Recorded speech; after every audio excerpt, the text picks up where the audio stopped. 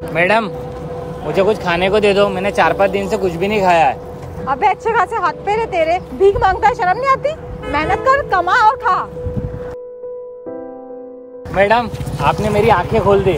अब से मैं मेहनत करूँगा और फिर खाऊँगा।